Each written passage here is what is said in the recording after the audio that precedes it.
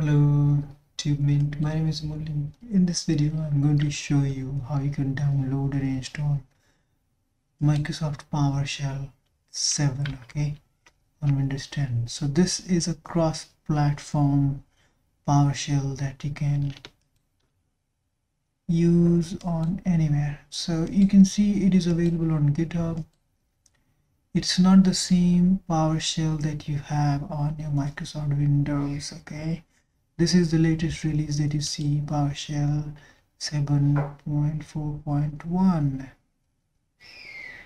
and you can see it is available for almost all the platforms Linux etc etc and this is what you need if you want to download install download it install and install it on Windows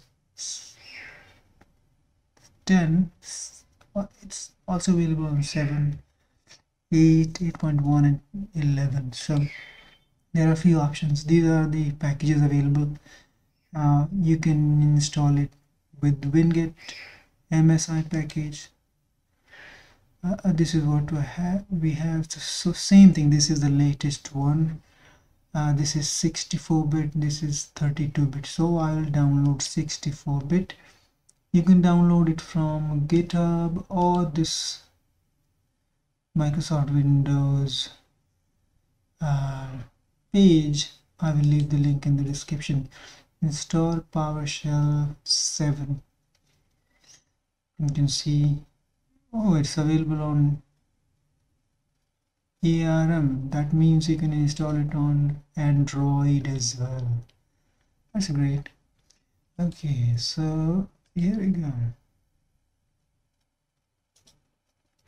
This is to install PowerShell 7 obviously this is going to be installed in this directory. You can change it. Register PowerShell event logs manifest add PowerShell to path environment variable yes. Open here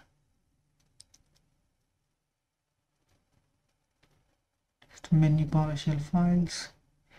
So we are going to go with the default enable updating PowerShell through Microsoft Update. Use my MyRobina, okay, and install it. This is 64-bit. You can see it's clearly written over there.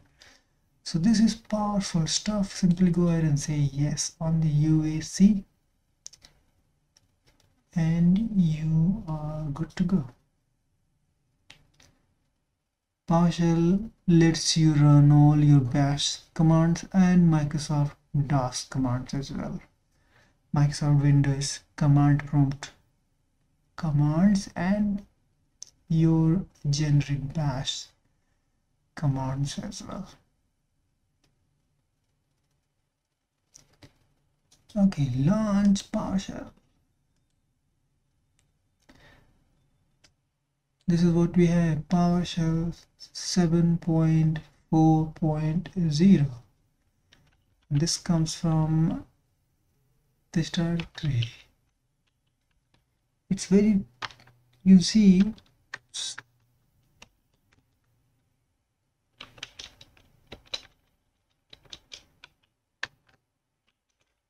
the first one under my user directory I'll have to say desktop and then it's it's faster. Ooh, you can see it's faster. So this is how you can download and install PowerShell 7 on Windows 10 when you look up for PowerShell now let's see what you get. This is what you get. This is not 7 this is not 7 okay. So make sure you go ahead and pin it to the start or wherever you want. And then you can put it on your taskbar. So that's what you have here.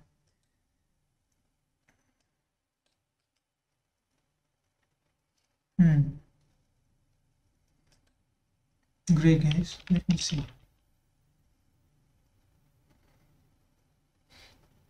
So it is going to work with all the commands that I have available with command prompt inbuilt PowerShell, PowerShell and this PowerShell 7 that we have.